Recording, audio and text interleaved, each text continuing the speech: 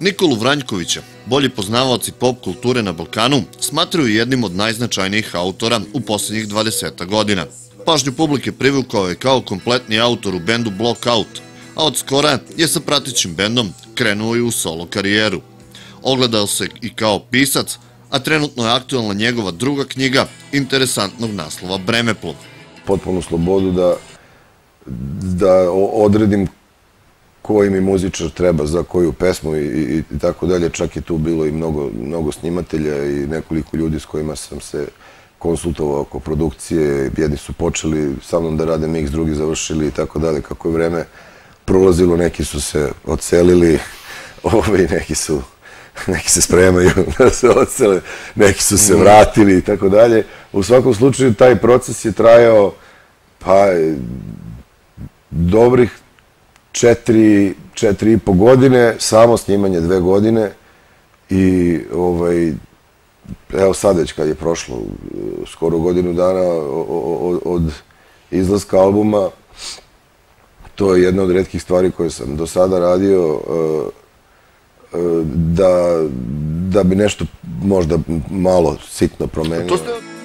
Pre Bremeplova, Vranković je objavio izbirku pesama za ovde ili za poneti, Ukoliko se prati nit njegovih pesama, jedino relevantno porođenje moglo bi da se napravi sa Slobodanom Tišmom, čovekom koji je nekada predvodio bendove Luna i Lastrada, a pre dve godine dobio je i priznanje za svoj rad u vidu Ninove nagrade za roman godine.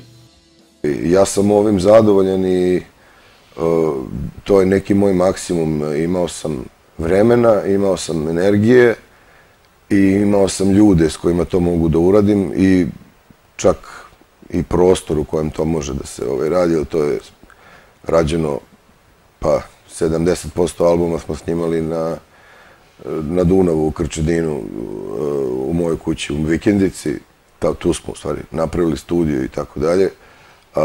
Čak smo neke stvari editovali i na Tisi, na, na Brodu, na tako dalje. Uglavnom smo gledali da, ono, znaš kao Peter Gabriel imamo studio, ne znam, na Amazonu ili ovaj, tako razni ljudi jeli, kojima se to može, a mi smo to sve ono, pakovali u jedan, dva laptopa, slušalice i tako dalje, igrali se toga, ali kao da probamo, možemo i mi, znaš, šta neko može za milion evra, ti možeš za 100, 100, 120, 130 evra to isto da uradiš i na kraju da budeš zadovoljan. Mislim, bilo mi je stvarno jako važno da, da ta energija albuma od početka snimanja bude uh, dobra i da ostane dobra do kraja, Posle knjižene večeri, Nikola Vranjković sa svojim bendom održao je i poluakustični nastup.